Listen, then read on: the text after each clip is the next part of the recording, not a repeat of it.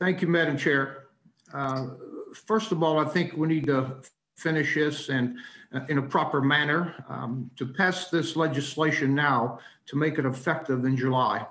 Uh, when theoretically and realistically, we may not need it next year. Hopefully, this pandemic will go away.